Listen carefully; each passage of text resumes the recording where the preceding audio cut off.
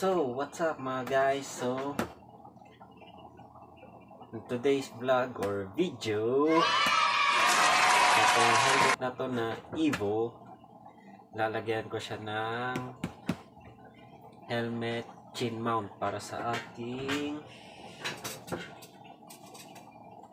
SJ4000 action camera. Ito yung ginagamit ko pag may rides. Kaya pangpasok din ng work yan. Para recorded every day. Every day. Sakto may nakita ko online. Yan. Ito ilalagay ko. So, buksan na natin to mga guys. Na natin. Dahan-dahan lang. Matalim yung gunting eh.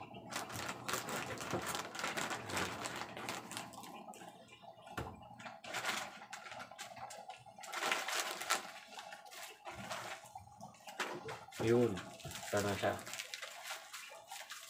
Naka safety package pa. Bubble wrap.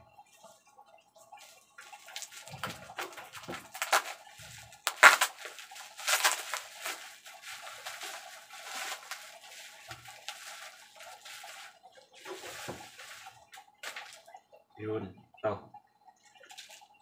Ito yung pang mount. Yan matatak nito KYT pa Ayan. tapos may kasama na siyang screw tsaka yung pang mounting nya tapos yung tali yung strap para may pang support just in case na malaglag to habang nasa biyahe. Yan. So tara install na natin to.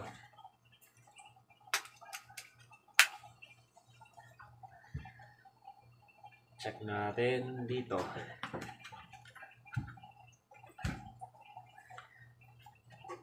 Yan. Medyo sakto lang naman siya. Yan.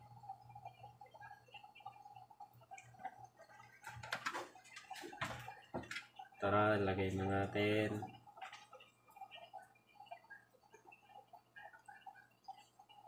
A few moments later. So, saan ko siya ilalagay? Sa gitna, syempre. Tingnan natin. Saan banda?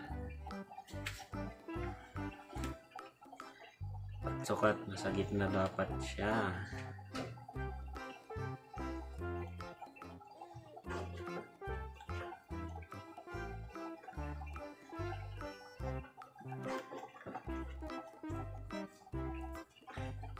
Yan, dinan lang natin para kapit na kapit.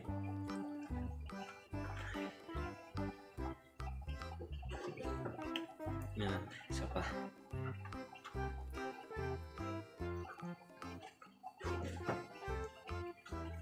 Yun. Nilagay ko na siya. Tapos, yung ito yung box yung screws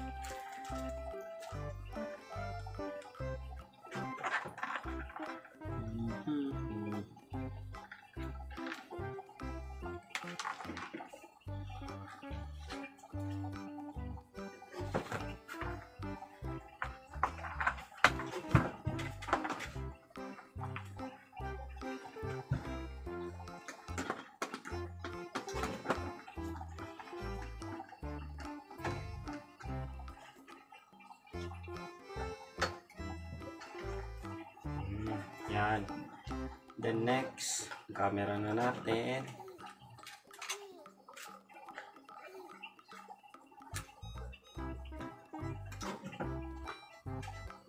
Ayan. Yan. Ito na lang. Ganyan siya.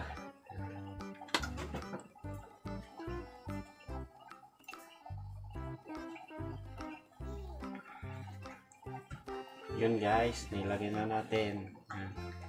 So next, itong strap. hanapan ko kung na ano ko banda ilalagay ito. Para safe yung camera natin. Mamalay natin biglang malaglag sa biyahe habang nagra-rides at last mga guys ito na siya. Na-install ko na din yung itong strap niya kinabit ko na lang sa loob para may support. Yan. So yan. Ganda. Tsaka makapal-kapal din yung helmet chin mount na to. Yan. Ayos. Nice. So that's it mga guys. Tsaka don't forget to please like share and subscribe to my YouTube channel at click nyo na din yung notification bell para updated kayo sa mga bagong i-upload ko na videos. So, hanggang dito na lang.